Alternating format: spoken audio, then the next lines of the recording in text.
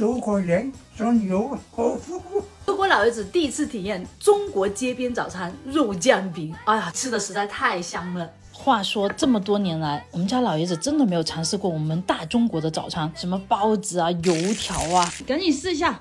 光头哥啊，算是他公司里头啊最有口福的老外了，同事们啊都羡慕的不行。太好吃了，包哇哦，这太夸张了，给你们一人一个。喂，我拿。真好吃呀！老本事还。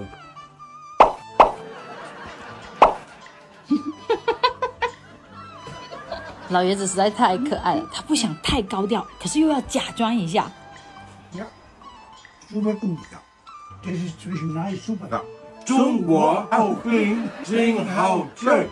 当我告诉老爷子这只是普通的中国早餐时，这个中国早餐，深深的感慨啊，从来没有吃过这么有味道的早餐。还是？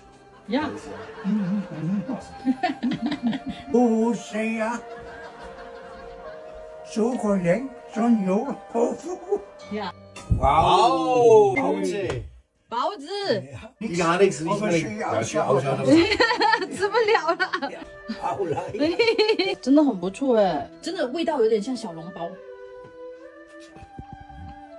小笼包，嗯，炸猪好吃，嗯，好了好了。